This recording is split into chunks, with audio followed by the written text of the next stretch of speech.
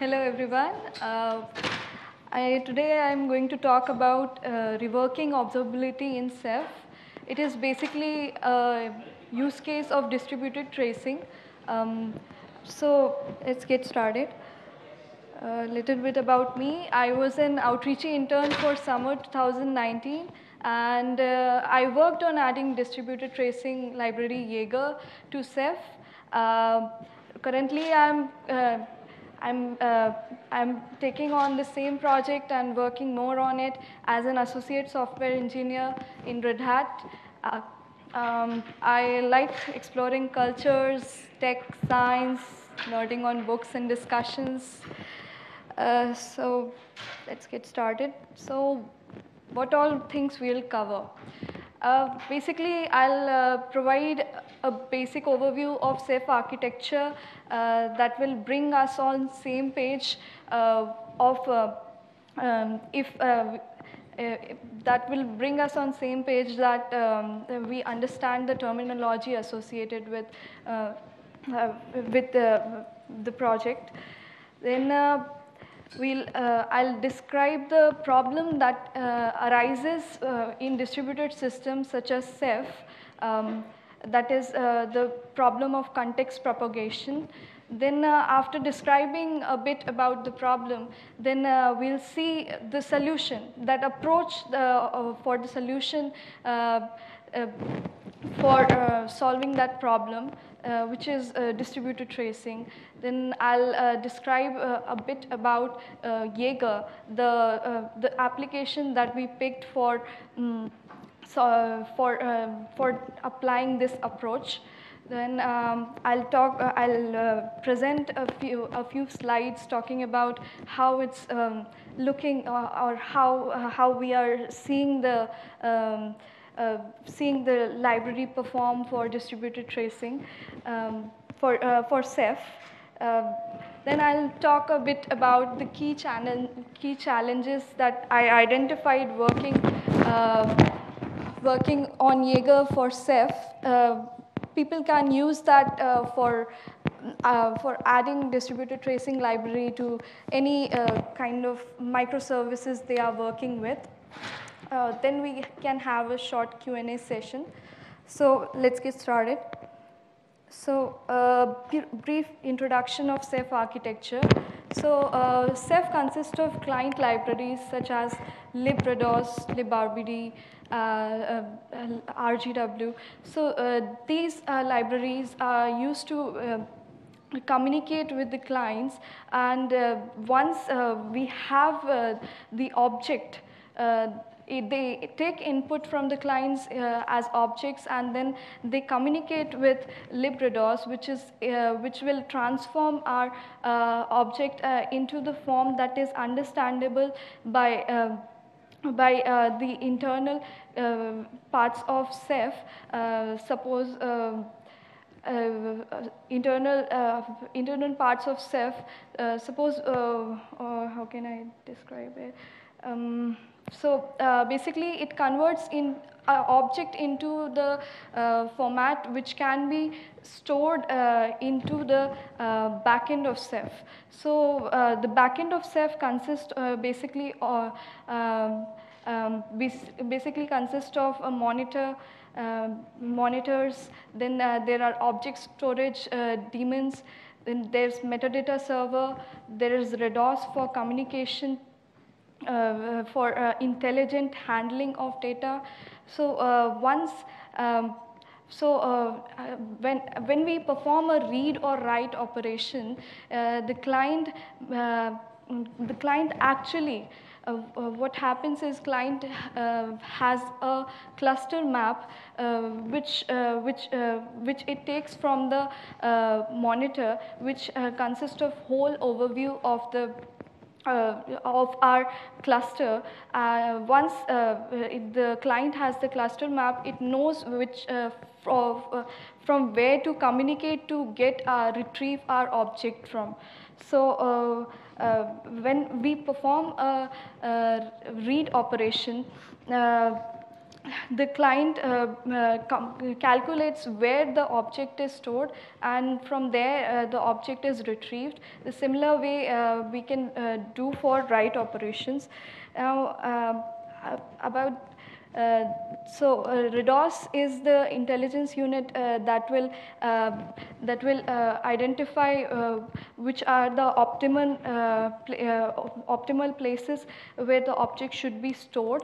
the OSDs or the object st storage daemons are the are the are the uh, in, are the intelligence units that are uh, lying just above the, uh, the uh, are physical devices that are, uh, that are communicating uh, in between themselves to the monitors and they are the ones that are handling the background uh, process, uh, the actions, um, the, uh, the write, read, backfill, recovery operations for healthy communication between between our, our whole uh, cluster. So uh, now what, uh, what problem arises in these distributed system is uh, since these pro uh, processes are uh, so uh, distributed, there is async operations happening. There is a lot of context, uh, context, context propagation happening at one instance, and these um, these contexts are even not in monolithic nature. That means uh, they are uh, not threaded uh, in uh, uh, in one uh, as a one operation. So when so when we want to debug a our process. What happens is uh, we are not able to identify the, uh, the origin of our failure. So in that uh, case, what uh, we generally do in distributed systems is we uh, go for uh, seeing the logs. But uh, since there are so many intelligence devices in, participating in um, participating in distributed system that it becomes difficult for um, for us, uh, for us to um, look, uh, to identify the system, where to look, um, and then uh, see the logs there and identify the cause of failure. So, uh, as I talked about, uh, that we can't attach debugger to four different processes and try to step through the debug request in that environment. And uh, we can't have logging libraries um, for sample uh, sampling logging excessively. Uh, okay. Um, discrete. Uh, discrete and distributed requests and events often fail because of multiple triggers across different distributed components.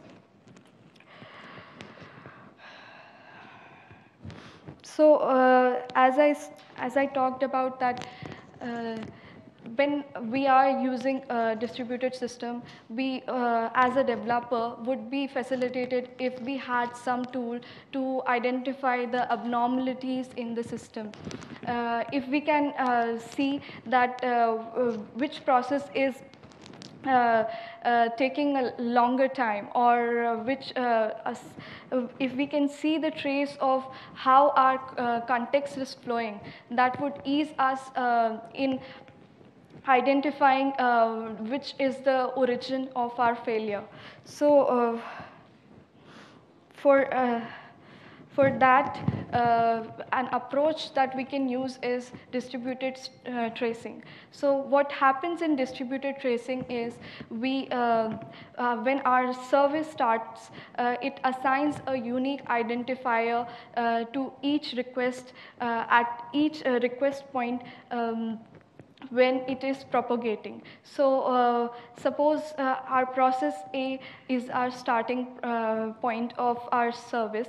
Uh, we attach a unique identifier to uh, that process and then that uh, unique identifier will propagate to subsequent process. So when with these attached identifier, we also can we also propagate the timing, the events, and uh, if we want to attach some metadata uh, uh, associated with our function, suppose we want to uh, see uh, what is the, um, the stored, the flag options that the, the right uh, or some, some indicator for whether an operation uh, has successfully um, executed or not, we can store them uh, as tags.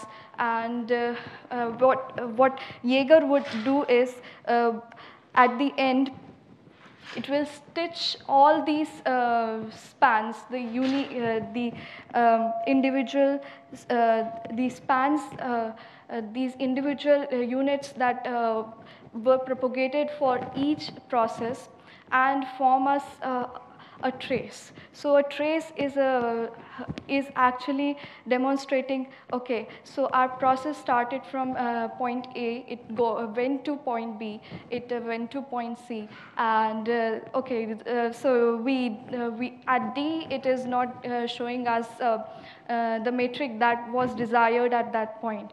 Or uh, at D, it is taking uh, more than usual, usually what it should have taken. Uh, so uh, by, uh, by, by seeing this visual interpretation of how our process is traveling, we can identify our uh, our performance issues in system are uh, where uh, where our um, where our um, our storage where our um, process is failing or our OSDs is are getting down. So how talking a bit about how Jaeger uh, performs uh, Jaeger's architecture. Uh, Jaeger consists of, so our, we added instrumentation to our application. So uh, once the instrumentation has been done, uh, uh, we are going to use a vendor neutral API, which is open tracing. Um, once, okay, uh, prior to that, I'll describe why uh, uh, we chose open tracing and Jaeger. So open tracing is a vendor neutral library. Uh, when by this I mean that uh, it uh, we can attach different backend support for, uh, as a tracer. So what a tracer does is uh, it collects all the spans and then stitches it together to form a trace.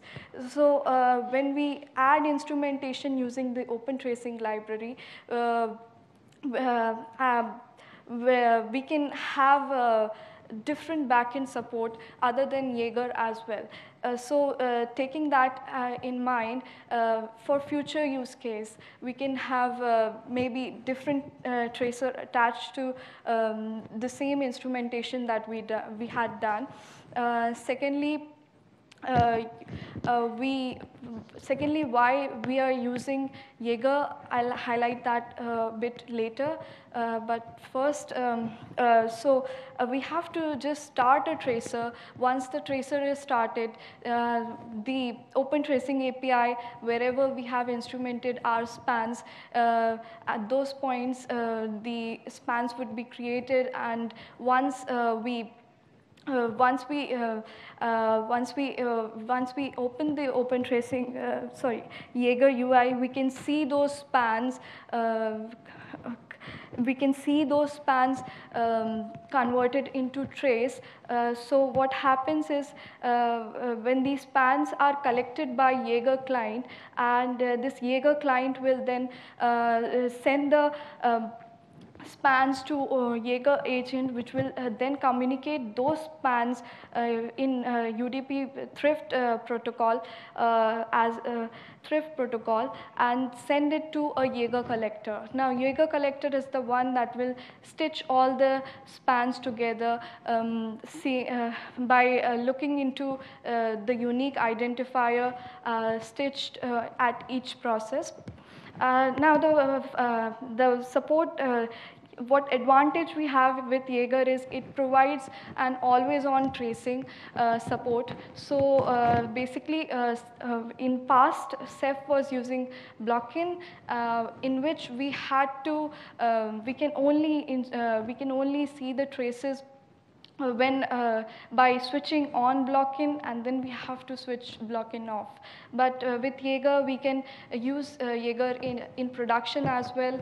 It, uh, it, it can be an always on uh, uh tracing uh, library. And if we don't want to have that overhead of uh, a, tracing library, we can have the sampling rate reduced to zero that can, that can, that can curb out any additional performance overhead that a library, uh, tracing library can produce.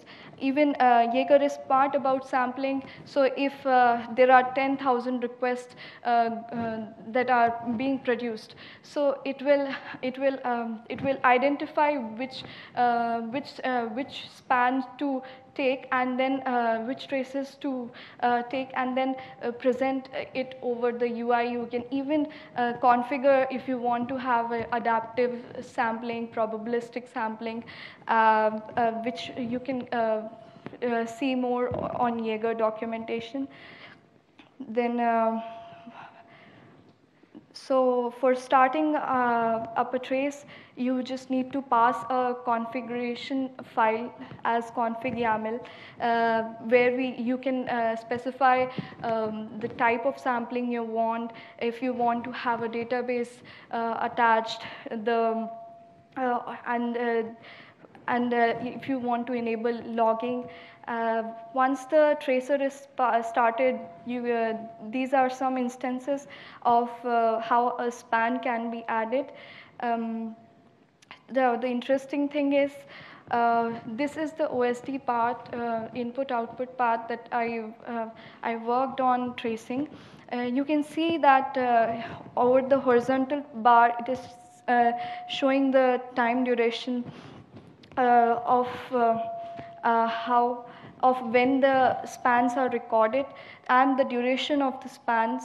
Um, so um, then uh, this is a trace uh, consisting of uh, the OSD input-output path uh, which is specifying that the request was uh, started, it was enqueued, and so, so on so forth. We can see how much uh, time it is uh, taking for each operation.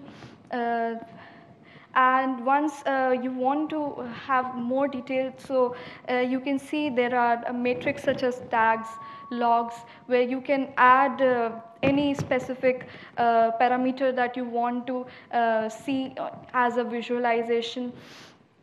This, uh, this is the visualization uh, um, visualization that Jaeger community is currently de developing. Is you can see there's an experimental feature,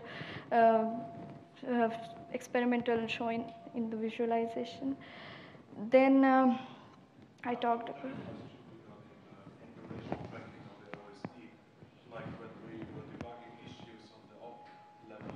Yeah. Okay. It's always a bit of a pain to match the historic ops across primary and secondary OSDs. So yeah. plans to implement what you were just showing with, with the spans to, to span the, the whole client operation across all yeah yeah, it's a work in progress. So uh, uh, I think uh, I, so. The basic uh, basically there is a problem in. We are working on making it for long-term support shippable, Jaeger, along with open tracing. Once that is in place, you can see there is a trace trace point I have. you can see this trace. So like that, uh, once uh, the uh, support is added for uh, making Jaeger and open tracing shippable with Ceph, uh, we can easily instrument uh, Ceph uh, as per our requirement as well, and some of the some of the important um, points that we generally face issues with, we'll have instrumentation for that in place. So that would be passed across the yeah you don't have to do that. Uh, that all is taken care by Jaeger. You just need to add instrumentation codes such as I did here adding a span. So here you can see uh, I'm starting a, a, span and then passing a child of uh, function. So what it is, uh, it is, uh, uh, it is, uh, it is creating a child span for OSD parent span. So that OSD parent span I have created at the common Ceph part. So that is propagating to whole process in that manner you can come apart from that always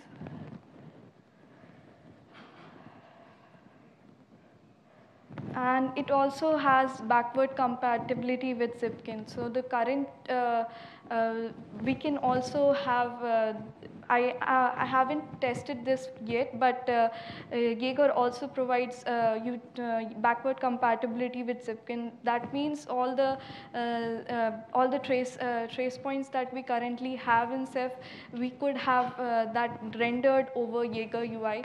We just there is a specific port that they have dedicated for that. So some of the struggles that I uh, identified while working on this project were that uh, you have to handle spans with caution. Uh, if uh, um, there can only be one parent span uh, in the whole context, uh, you can have multiple child span follows from span, but if you uh, if you'll have uh, open span, there is a probability uh, that uh, it might not be uh, rendered or it not, might not uh, create a complete trace. So the closing of spans are important, and there is some yet to de develop features that Jaeger has.